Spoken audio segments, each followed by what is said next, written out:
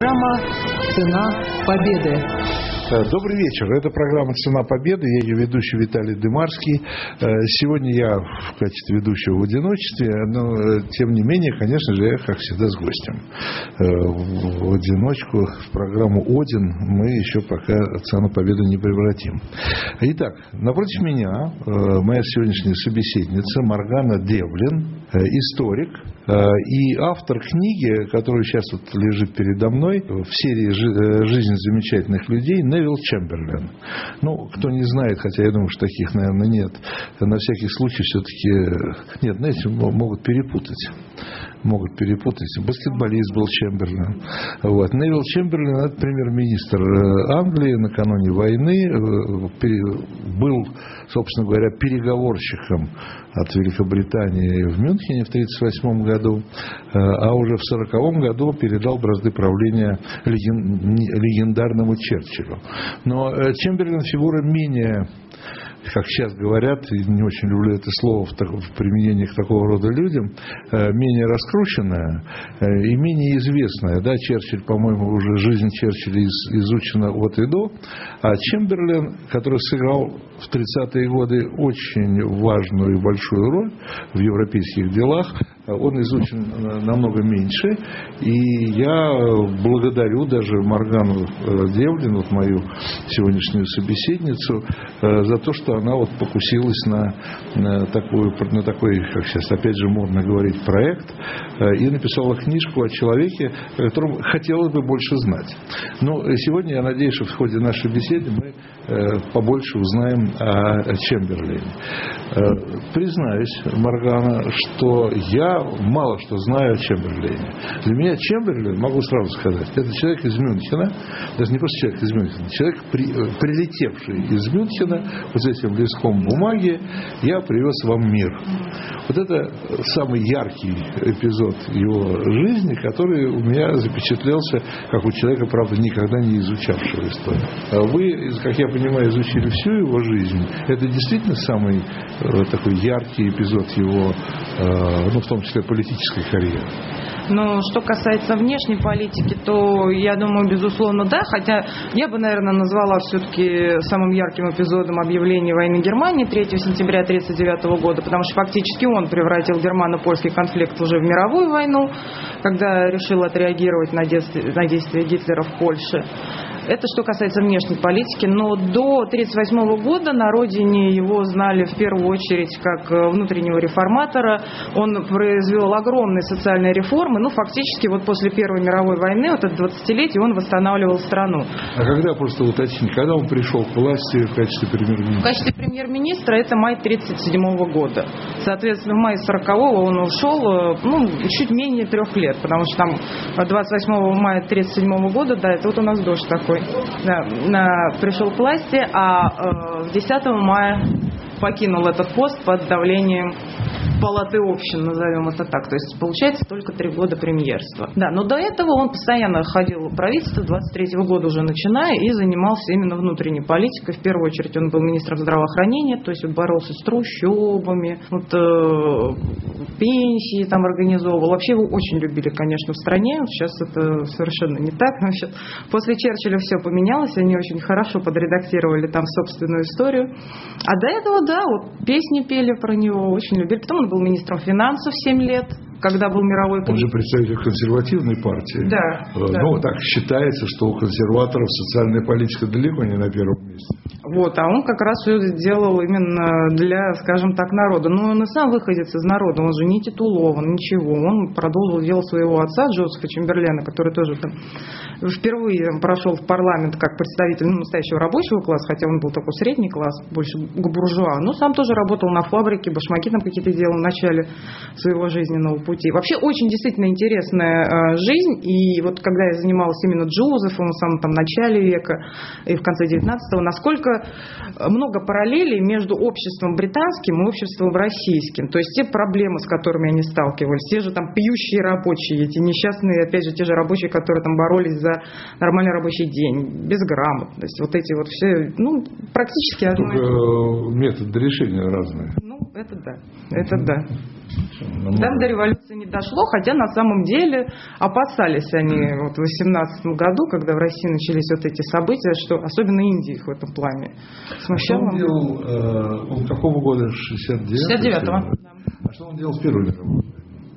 Он был лорд-мэром Бирмингема. Ну, то есть мэром, как э, называется. Есть, э, на войне Не воевал. Ну, он, во-первых, уже по возрасту, а во-вторых, он занимался как раз тогда же начались первые вот эти налеты, там какие-то еще пробные вот эти немецкие, что там пускали какие-то они аэростатики или что-то такое. Вот создавал такой прототип противовоздушной обороны.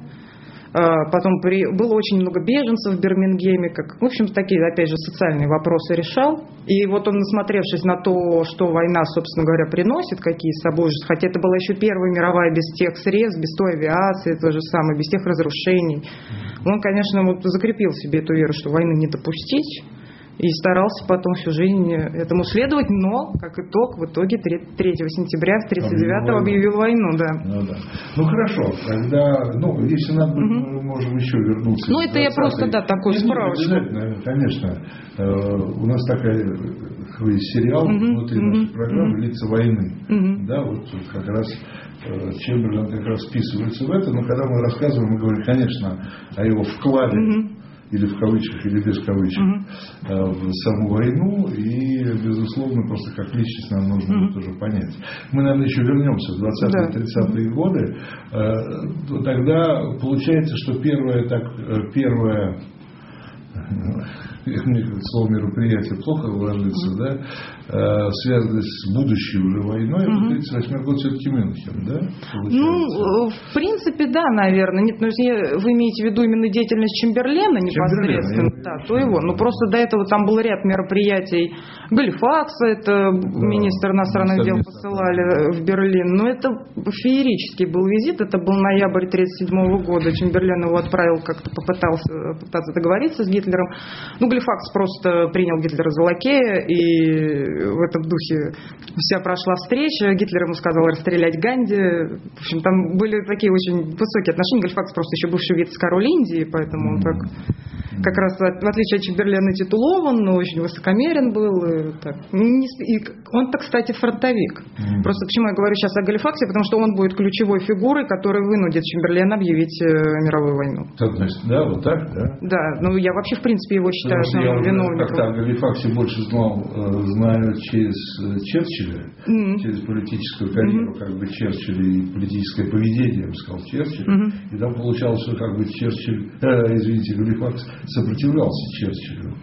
Вот, во всяком случае, судя по фильмам, которые, да, По фильмам судить не след. У нас все фильмы же, особенно вот последний вышел «Темные часы», его с Олдманом. Да, Олдман да. прекрасный, конечно, актер. Я его очень люблю еще за роль Сириуса Блэка, скажем так.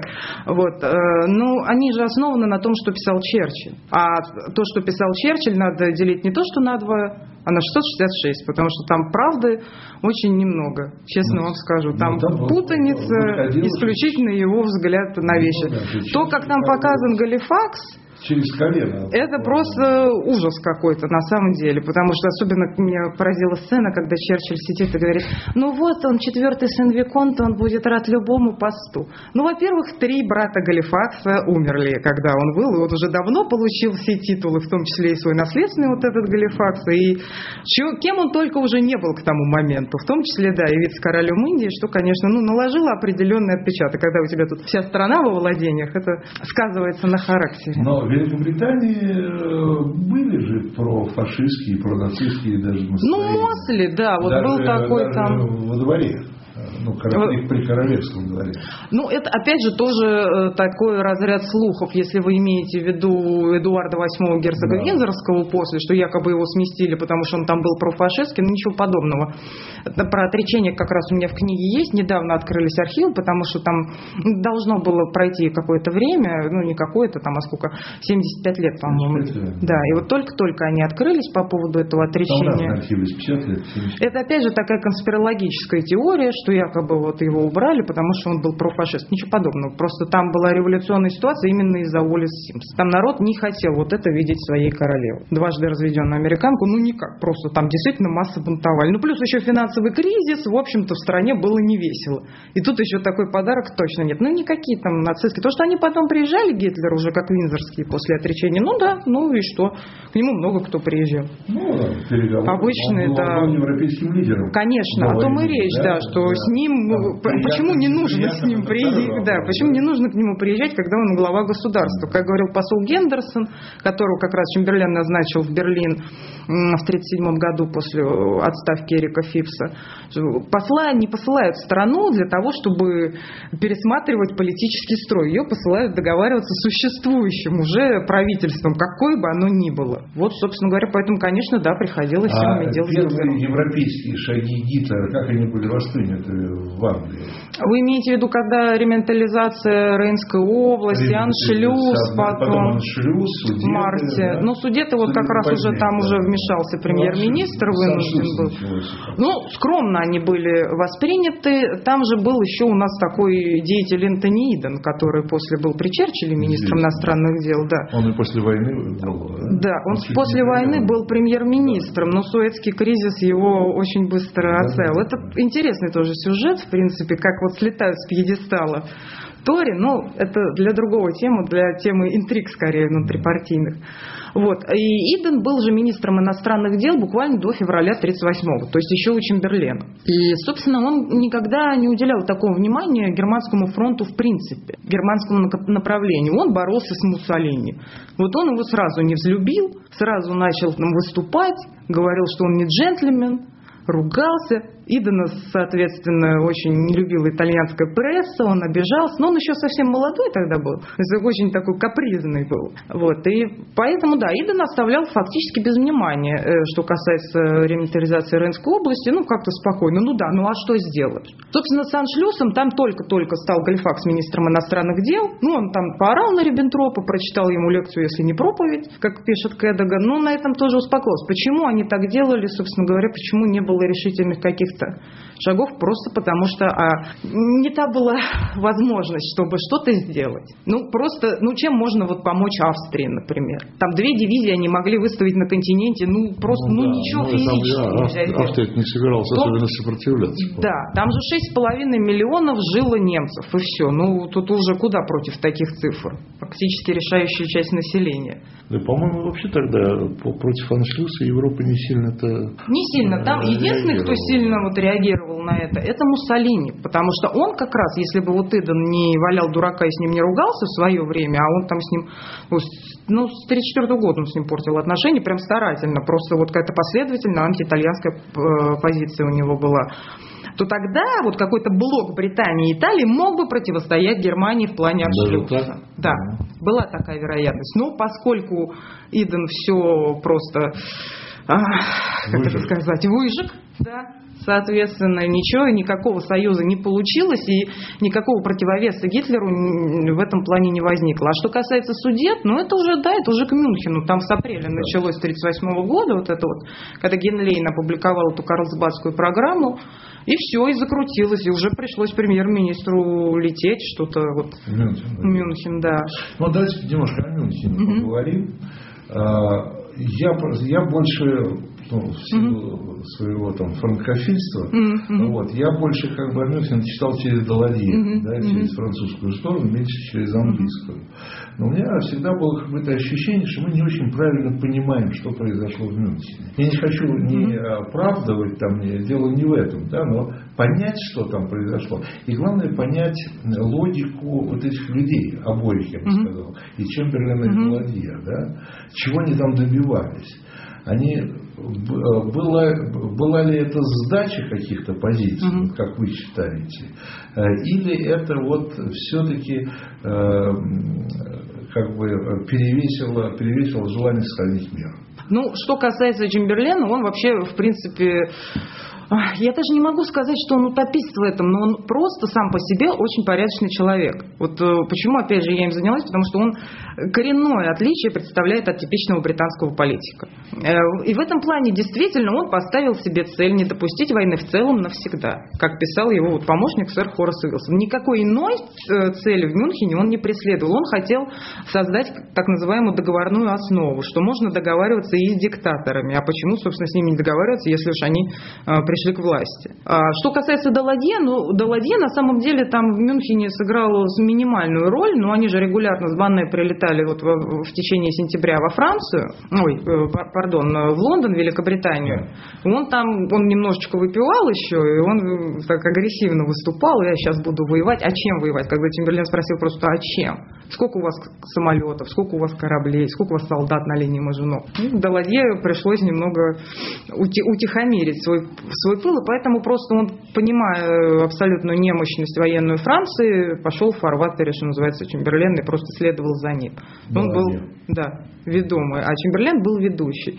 Но у него, да, его подстегивала, конечно, тоже немощность и Британской империи, плюс еще доминионы ему сказали, что если будет в Европе война, мы выходим просто из состава Соединенного Королевства. То есть там были очень серьезные разговоры, ну просто распад империи, если вы сейчас начнете войну.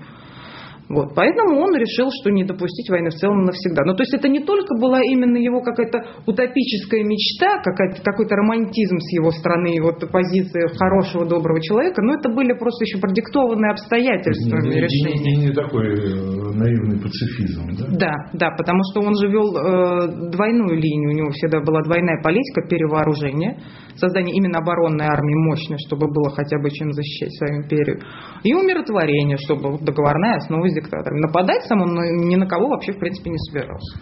Почему у нас была потом концепция странной войны, он в принципе ее выработал.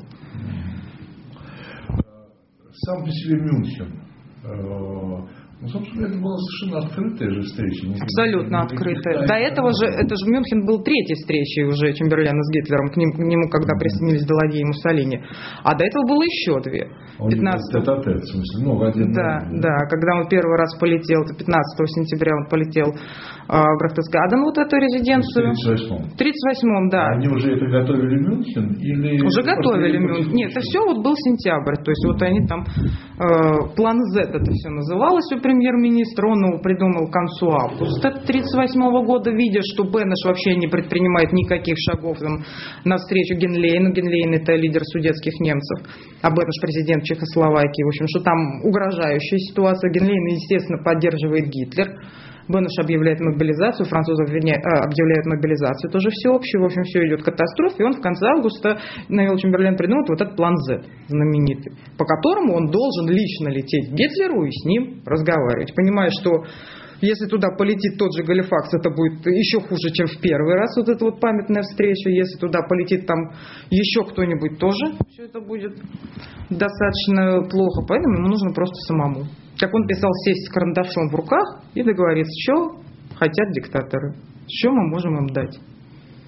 Вот, собственно, он это и выполнял. Сначала полетел, потом в Бад Годесберг он полетел, там была очень такая неприятная у них встреча с Гитлером, потому что все уже подходило к катастрофе. Ну, там еще Беннеш, опять же, подогревал, он ввел всеобщую мобилизацию. Ну, не сам, это ему Галифакс из Лондона написал, что можешь водить. А, а чем э, вам Беннеш нравится? Что он-то там? Он же был фигурой пассивной? Он, Нет, Беннеш не был фигурой пассивной. Из-за Беннеша все началось изначально. В Версале они до чего договорились. Там же Беннеш был, и он рисовал границы Чехословакии красным карандашом еще в 19 году. Э, что э, Чехословакия будет иметь э, кантональную систему, то есть как Швейцария, какая-то область немецкая, какая-то область словацкая, какая-то область чешская. Но получилось центристское государство с абсолютными преференциями чехам, с действительным притеснением судетских немцев. То есть это не немецкая пропаганда. Судетских немцев там было 3,5 миллиона.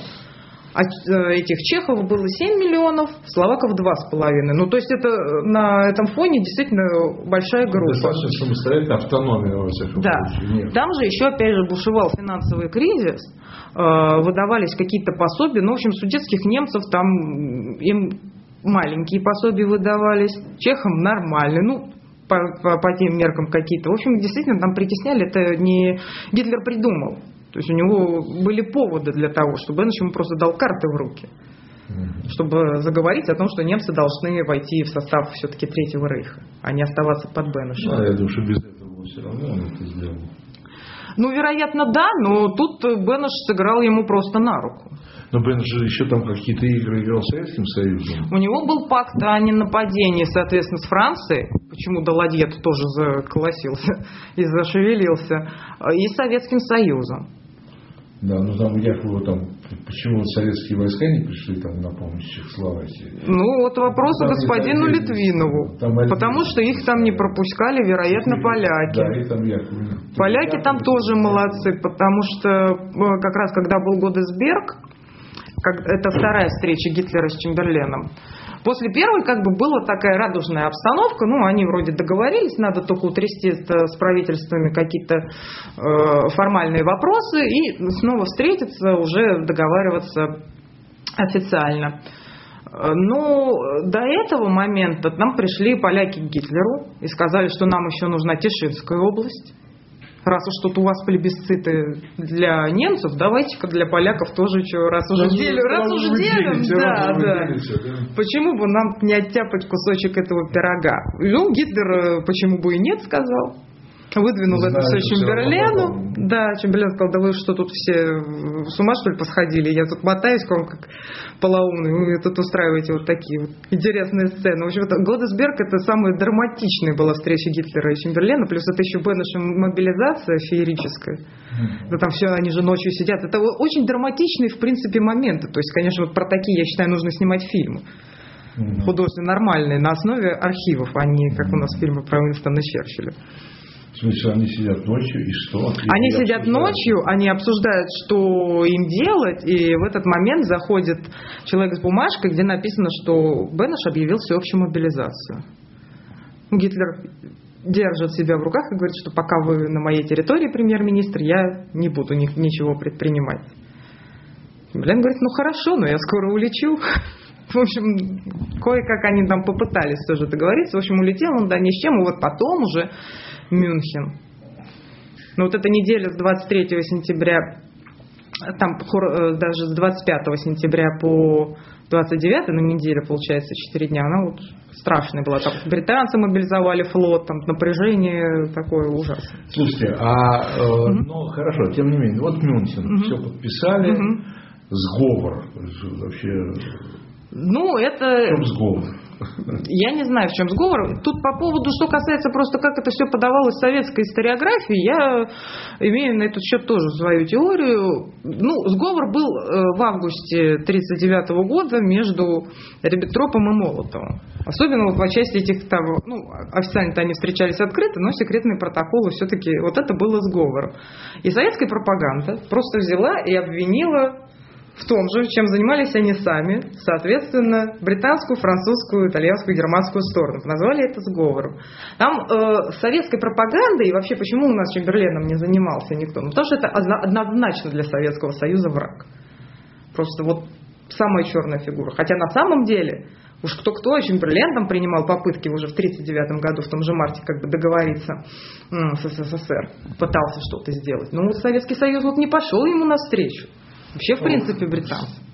А вот, кстати, то есть попытки были все-таки договориться с Советским Конечно, Союзом. конечно. Но э, советская сторона, как можно прочитать во многих, там, и даже современных, к сожалению, они все время говорят, что, собственно говоря, э, мы хотели с западными Мгм. державами Ну, переговорить. это не, не совсем вести так. переговоры э, с Францией, ну, виду, Мгм, да, конечно, да. в первую очередь Франция, Франция и Англия.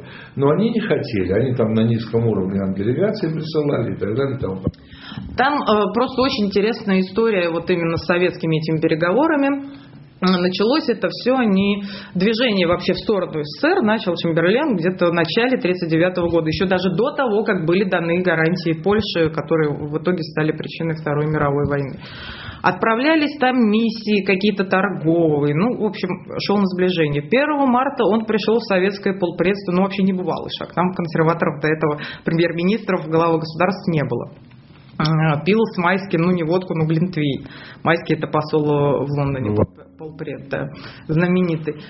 А потом пытались маневры какие-то совместные. Хорбелиш, это министр обороны наш, грубо говоря, ну, британский, я имею в виду, э, проводить. Но тоже, опять же, нет. И когда уже начались э, переговоры с советской стороной англо-французские, они вообще, как обычно, начинаются переговоры такого уровня, через посольство. То есть вырабатываются, какие вопросы будут обсуждаться, о чем там, э, ну, в общем, через посольство они согласуют вот эти все вопросы, и потом уже отправляют миссии. А поскольку через посольство даже они уже не могли договориться, Хотя, ну я не могу сказать, что Чемберлен прям действительно шел навстречу. Но он не летел в Москву.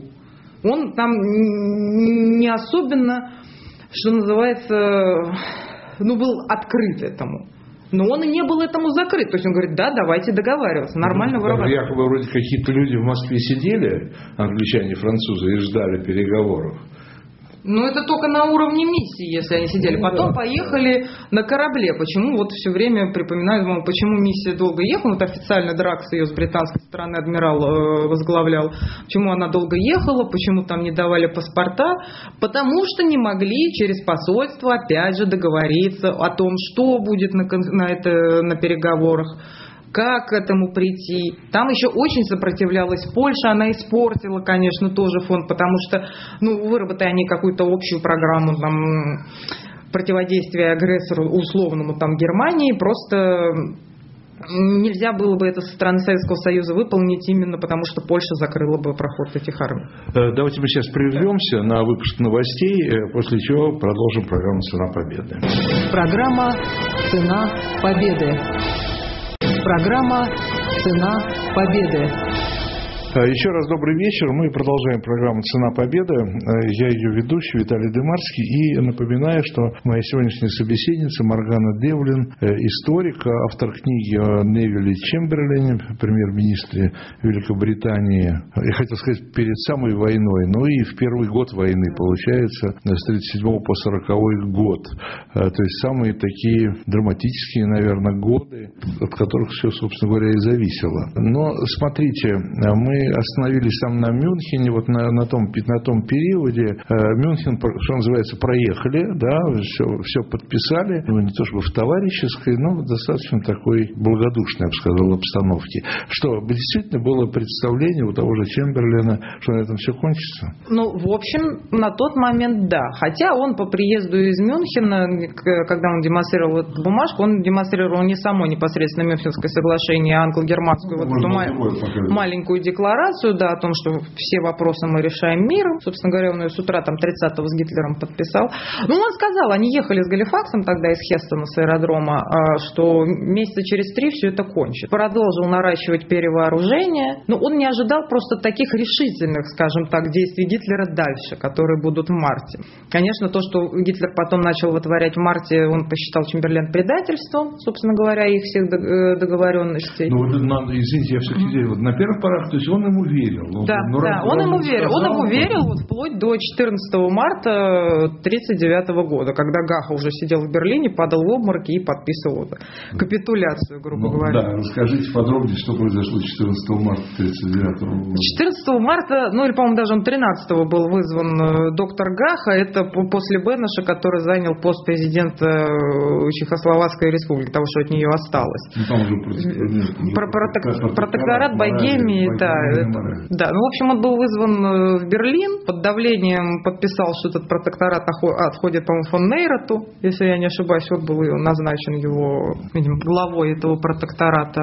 Упал в обморок несчастный, откачали его на шатырем, да, и, собственно говоря, что это все э, предрешило абсолютно оккупацию, получается, Третьим Рейхом остатка чешских территорий. Вот этого, конечно, премьер-министр никак не ожидал. Нам просто до, еще до этих событий он поругался с Галифаксом, ну, точнее, Галифакс с ним поругался. И...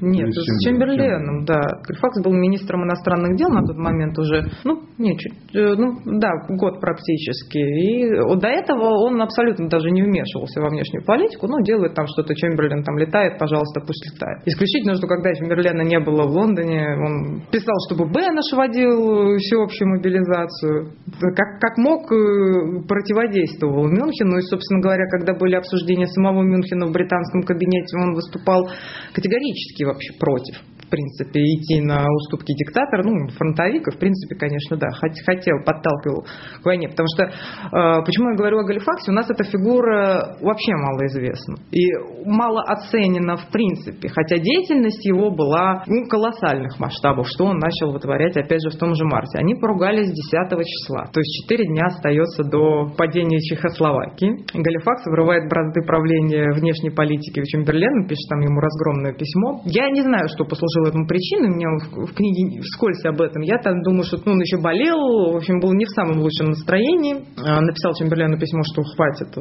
заниматься вот этими вот радужными надеждами, все, ведем курс на войну. И, собственно говоря, да, он так э, уже и вел вот с марта 39-го курс на войну. Эти гарантии Польши, соответственно, стали этим живым этим воплощением, которое он выдал пьяному абсолютно полковнику Беку, который тоже очень любил выпивать. И, в принципе, его решения всегда зависели от бокала шампанского. Угу. Своеобразная тоже очень фигура польский министр иностранных дел. И когда Чемберлен э, решил выдать гарантии Польше? Вот как раз это был март, это был, но это было уже после, э, после 14 марта. Как следствие вот этих событий. Как следствие событий. Галифакс написал полковнику, тут сломал систему, что называется, вызвал его в Лондон, он доехал туда, и Галифакс уговорил Чемберлену, что мы даем гарантии Польше. Но, опять же, на самом деле, э, что если мы чуть-чуть сейчас вернемся к Мюнхену, первая реакция Чемберлена, когда он понимал, что сейчас э, Чехословакии тоже наступит конец, еще тогда, в 1938 году, еще при Беннеше, он сначала порывался дать гарантии, а потом он открыл карту. А, Чехословакии? Да, да, военные гарантии Чехословакии. Он проверил состояние своих войск, открыл карту и понимает, что у него две дивизии. Ну, как, ну, я, ну хорошо, да, но это фактически это будет повод просто для войны в Германии, поэтому никаких гарантий. Это была его первая мысль, это вот очень четко показано в его переписке. Ну, просто их не, не, нечем было поддержать. Ну, что, в итоге случилось с Польшей. Да, Гальфакс его уговорил дать гарантии, да. Там уже была лучшая обороноспособность э, э, Британской империи, но, опять же, тут не в той степени, чтобы действительно э, защищать Чехословакию в таком ракурсе, пардон, Польшу в таком ракурсе. И э, перестав фактически верить Гитлеру, он Э, он дает вот эти вот гарантии. Да, и веря Галифаксу, он выдает вот эти вот гарантии. Далади это делает вслед за Чемберленом? Да, да, да, абсолютно просто в фарватере, то есть у него выхода другого не было. Ну, Далади вообще никакой самостоятельной в европейской, во всяком случае, политики В общем, да.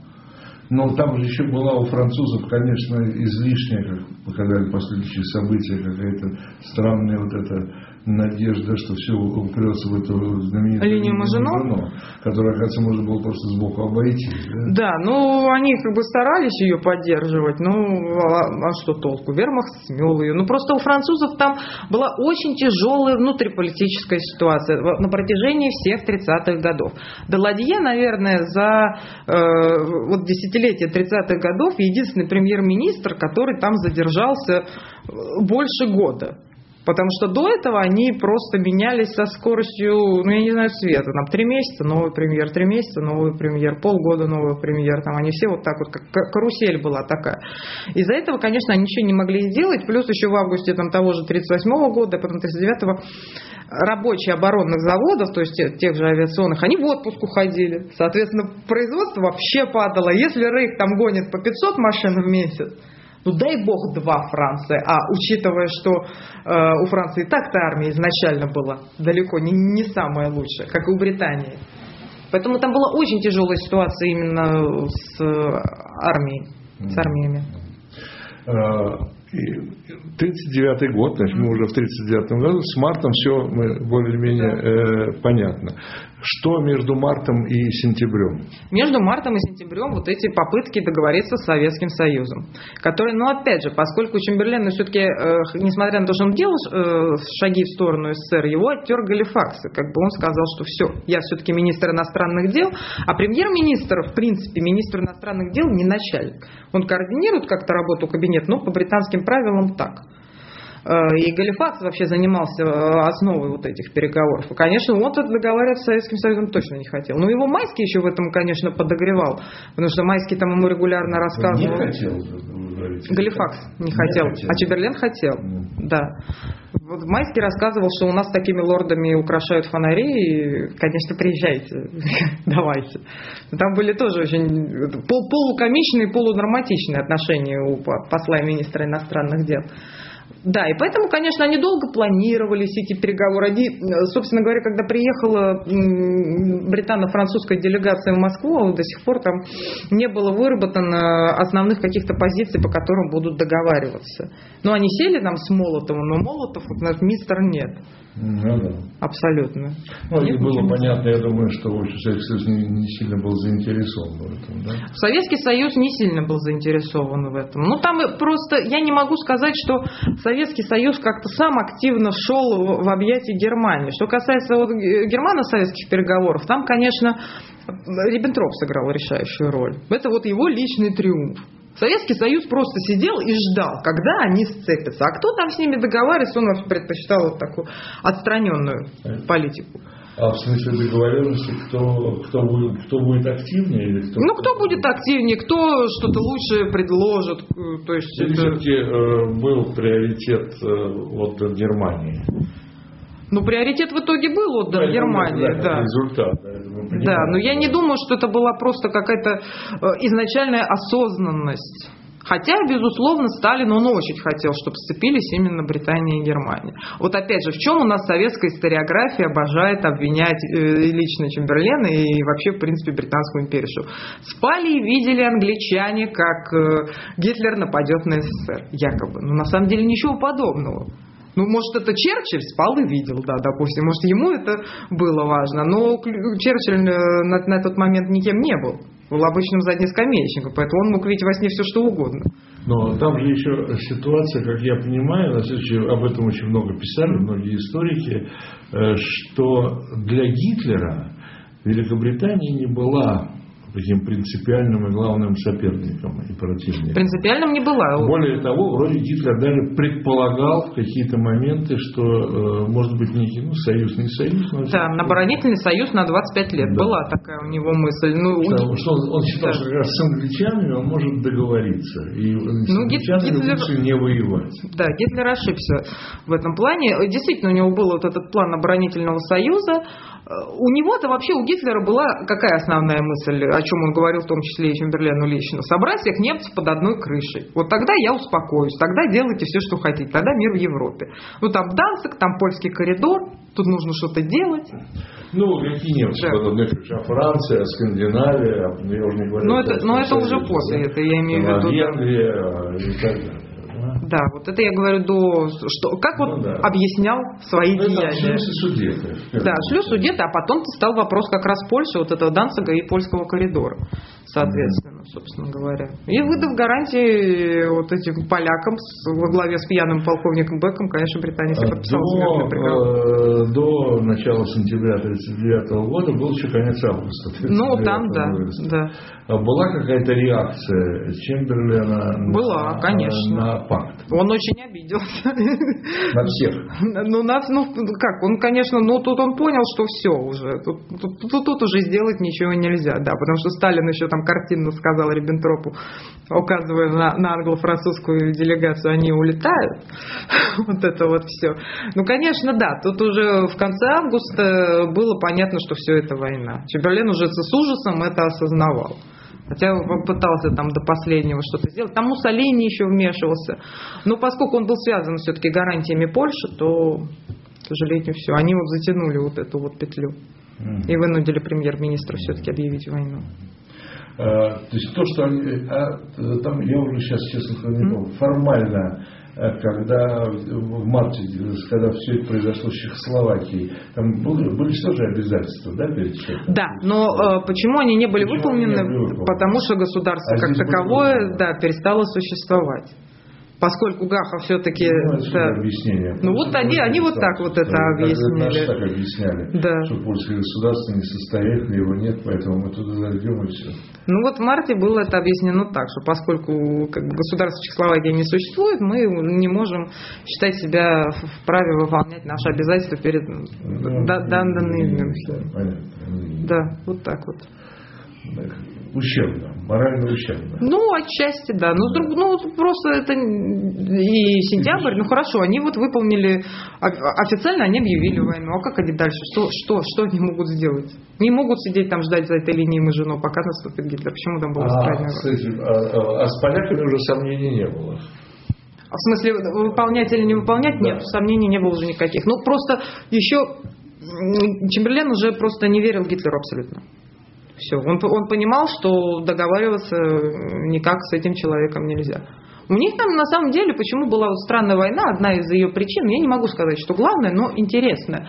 А, очень ждали вообще британцы э, того, что все-таки нацисты, я имею в виду простые немцы, возьмутся за ум и сделают переворот что Гитлера уберут. Была вот у них такая надежда, потому что понятно, что с такой нацистской верхушкой Гитлером, Гиммлером и Геббельсом уже договориться невозможно.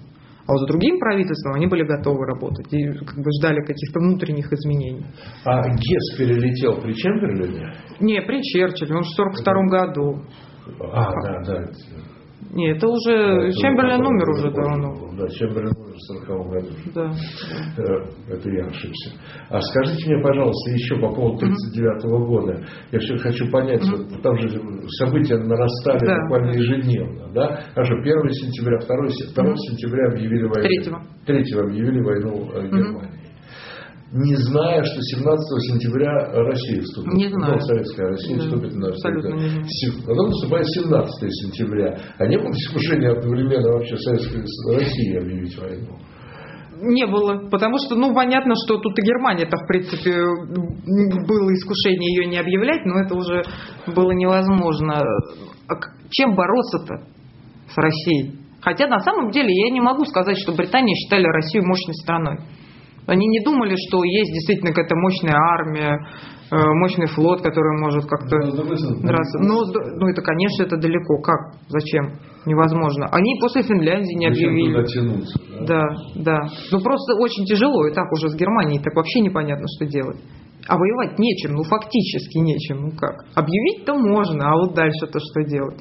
А, а как, э, как все эти шаги Чемберлена были восприняты? То есть там были все-таки внутренние разногласия в правительстве, вот, ну, с Галифаксом в основном, угу, да? Ну, да? Двор не вмешивался? Нет, нет, нет.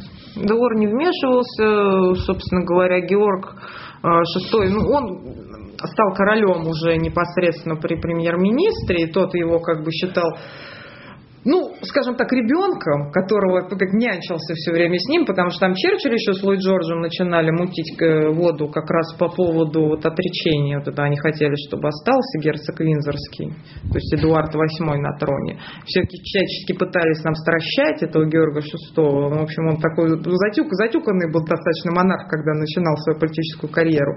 Ну, Чемберлен просто э, отловил Черчилля с Ллойд Джорджем, сыпал им, как следует, сказал, что вы вообще тут делаете. Он говорит, эти два пирата получили от меня как следует. Вот, потом поехал во дворец, там опекал его. Так что нет, он на таких позициях, что премьер-министр скажет, то хорошо, он ему доверял и всегда, ну, как старшему такому товарищу какому-то. А скажите еще, пожалуйста, э, э, скажите еще, пожалуйста, ответьте на такой вопрос. А э, ну вот, прошло 75 лет, да? Да. Да, ну, надо закончить уже, наверное, историю Чемберлина. Mm-hmm. Он умирает. Умирает. А, там внезапное заболевание. Да, очень внезапное заболевание. Ну, на мой взгляд, это, конечно, очень странное заболевание, потому что там буквально в апреле э, ему исполнилось в марте, соответственно, 40 года, нет, ему в марте 39 -го года исполнилось 70, 40 в апреле пишет его секретарь, что он очень хорошо держится, его проверяет, проходит полный медосмотр, э, все отлично. И тут вот сгорает, буквально уйдя с поста премьер-министра, но оставаясь при этом лидером консервативной партии. А Черчиллю, конечно, это очень было тяжело иметь постороннего лидера своей же, собственно говоря, партии оставаться при нем премьер-министром. Парламент слушался Чемберлен. Как обычно, больше, да. там на партийце больше конкуренты, чем да. в других партиях. Конечно, да. И поэтому там было несколько этапов, когда вроде ему сделали операцию, все хорошо, он выходит на работу, и тут снова вот ему становится плохо, все, он уже умирает. Тут к нему приезжает Галифакс, который очень много людей вообще, в принципе, в последнюю жизнь видели Галифакса. Я не знаю почему так. Вот это, наверное, какая-то мистика. Ну, вот почему-то вот так вот происходило. Ну, там официально было объявлено, что рак последний стадии. Ну да, да, да. Ну, якобы тоже вырезано. А какие отношения были у Чемберлена с Черчиллем? Ну, как у а, взрослого с ребенком. Вот такие. Потому что Чемберлен, конечно, читал Черчилля безобидным, ну, как сказать, не то, что безобидным, но таким вот способным нашкодить ребенком как и в принципе там многие э, вообще в принципе члены парламента, члены кабинета, они действительно похожи на каких-то вот детей. У них же все идет еще вот с начальной школы. Они в основном же многие вместе учились, в том университете, то есть такое вот мальчишеские братства. И на этом уровне где-то и замирают. Единственный из них выделялся, который с ними не учился никогда, это Чемберлен, который просто отличался какими-то мудрыми, взвешенными решениями, в отличие вот от этих вот всех других политиков. Интриганов. Интриганов, да, тоже какие-то мелкие подножки, причем исключительно из э, эгоистичных соображений, то есть не для страны, не для народа, а вот просто я вот хочу, там Эмери еще тоже был такой товарищ, вот меня Черчилль в бассейн толкнул, вот я его сейчас в парламенте тут устрою, вот, вот, вот такого плана там были игры и разборки. А так нормально, я не могу сказать, что они ругались. Э, что они как-то ссорились. Но он все время, вот э, Чемберлен Черчилль успокаивал. Когда он был министром финансов, Черчилль, я имею в виду, у него были дикие абсолютно проекты. Ну, сейчас, собственно, там к финансовому кризису все шло, и Черчилль это очень подстегнул, будучи Минфином. Он, например, предлагал по 5 фунтов раздать каждому жителю Британской империи. 5 фунтов – это 250 долларов. Чемберлен сказал, ну давайте сейчас все разбазарим вообще ну давайте заканчивать вот этими какими-то дикими проектами абсолютно непонятными, направленными исключительно на пиар персоны Уинстона Черчилля. Так что вот такие, да, ну не, не могу сказать, что плохие. А скажите, пожалуйста, Маргара, угу. а каким Черчилль остался в истории Великобритании? Ну, если сегодня открыть, скажем, учебник э, школьный там, истории, присутствует ли там э, Чемберлен угу. и в какой, какой ипостаси? Чемберлен э, вообще для британцев сейчас фигура трагическая. То есть его именно расценивают до 1937 года, как они пишут, что если бы вот он ушел на покой в 1937 году, он бы вошел в историю как один из самых величайших британцев, потому что он действительно очень много сделал для Британской империи. Невероятно много, ну, фактически поднимал ее из руин после Первой мировой войны. Но поскольку там дальше был у нас все-таки Мюнхен, была мировая война, то сейчас его расценивают именно как человека, попавшего под такие трагические обстоятельства. А Мюнхен э, тоже присутствует же, наверное, каким-то образом в учебниках истории. Был, было ли какое-то покаяние за Мюнхен? Было ли покаяние в смысле знаю, признания ошибки? Ну там у них на самом деле кочует, идет как... как... Вообще, как вообще, что, что сегодня они говорят о Мюнхене? У них идет все это как-то по какой-то, ну, по, по, по синусоиде даже, я бы сказала, что в 60-е годы, например, была волна э, подъема, что Мюнхен это абсолютно правильно все было сделано сделано, так было и нужно поступить. Но сейчас такие точки зрения, в принципе, тоже сохраняются, но они уже поближе к спаду идут. Я вообще слышал, я не знаю, насколько это правда или нет, мне, кстати, говорил э, человек довольно известный, Виктор Суворов, который живет в Англии. Mm-hmm. Вот, он мне говорил о том, Э, ну, ведь его часто очень обвиняют, я сейчас не говорю там за или против, это второй, это уже другой вопрос, его очень часто обвиняют, что он там обслуживает э, этих всех буржуазных историков, mm-hmm. что там, не знаю, спецслужбы и так далее и тому подобное.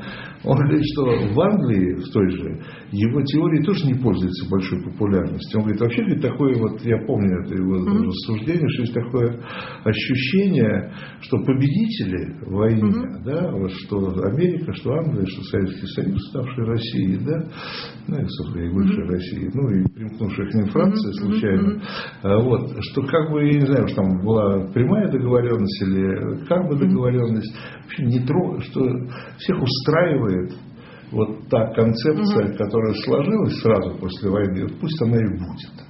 Ну, сложилась там после войны концепция Уинстона Черчилля. Ну, собственно, да, она там и превалирует. Сейчас у нас Уинстон Черчилль считается популярнейшим человеком Великобритании. Я вот была там в феврале, в Вестминстерском аббатстве мы искали там могилу как раз премьер-министра, Чемберлена я имею в виду, потому что он там кремирован, там прах его захоронит. Вот мы с этими епископами, пока мы там носились, общались. И да, вот у нас, говорит, считается, что Таш Чемберлен все-таки какой-то такой не самый популярный персонаж. Нас все любят Черчилля. Но это тоже, опять же, потому что все читают его, непосредственно самого Черчилля, тоже Вторую мировую войну, там темные те же часы. Войну, он так, он так... в мере зафиксировался. Да, да, да конечно, в основном. бывает там туда-сюда. Да, но это же просто не исторический взгляд, а художественный. Потому что Уинстон Черчилль очень сильно врал ну, занимался собственной репутацией в первую очередь в своих трудах, а уже э, там, после уже уделял внимание именно каким-то историческому ходу а, событий. Ну, вообще, слушайте, вообще воспоминания людей это не истина последней инстанции. Ну, безусловно. Каждый да. человек вспоминает то, что ему хочется вспоминать. Не, мемуары, да, это определенный, конечно, да, уровень, ну, интересный все равно. Вот ну, я в этом плане предпочитаю как раз больше в дневники и переписку, и поэтому у меня в книге очень много писем Чемберлена, потому что человек, ну, изначально к вранью как бы не был наклонен. А он С сестрами. Они с 15 -го года по 40 вот прям практически каждый день он им писал. Это издано 4 тома, ну, правда, очень ограниченным тиражом, мне с трудом удалось заслать, и слава богу удалось, потому что это вот огромный просто материал, именно вот день за днем, как все это происходило. У вас производит впечатление, в первую очередь, не как политика, а как человек просто своими человеческими качествами. Ну, безусловно, да. И я просто очень рада, что такие люди иногда становятся политиками, что значит, все-таки у человечества еще не все потеряно. Как-то это вселяет надежду. А семья э, каких-то кто-то сейчас еще жив из его? Ну, у него только внучка сейчас жива. Нет, ну вот нам у внучки, наверное, тоже какие-то там правнуки есть. Ну, практически сейчас им никто не занимается. Там иногда вот внучка его Мэри занимается Джозефом, его отцом, потому что Джозеф несравненно популярнее Чемберлена Невилла. Да? Да. Джозеф же строитель империи, Джозеф Чемберлен, это он еще при Виктории начинал. А наш отец Чемберлен? Это еще там, это брат Невилла, Остин старший, вот ему был ответ, он такой. А он кем он был? Он был министром иностранных дел. Ну, вот ему как раз, да. Да, но он разорвал же дипломатические... Это не Невилл, это Остин. Он разорвал дипломатические отношения с молодой Советской Республикой, и вот его там собственно, и лихорадила советская пропаганда по этому а, поводу. А брат потом э, был рядом с Невиллом? Или... Он умер как раз в марте 1937 года. А, то есть он уже... У них были очень тяжелые отношения, в принципе, потому что э, Джозеф, вообще их отец, э, готовил Остина к политике. Готовил к тому, что вот если Джозефу не удалось стать премьер-министром, то Остин станет. А в итоге стал Невилл, который вообще к этому никак не готовился. Ну вот Невил да. Чемберлен стал премьер-министром, э, позволил тем самым э, Моргане Девлин написать книжку про него в серии ЖЗЛ. Милости просим книжку, э, книжку ищите, берите. Это всегда интересно. Вообще жизнь, жизнь людей это всегда интересно. Тем более вот таких, таких заметных и значительных политиков 20 века, каким был Невил Чемберлен. Спасибо. Это была цена победы и до встречи. Спасибо большое. Всего доброго. Программа «Цена победы».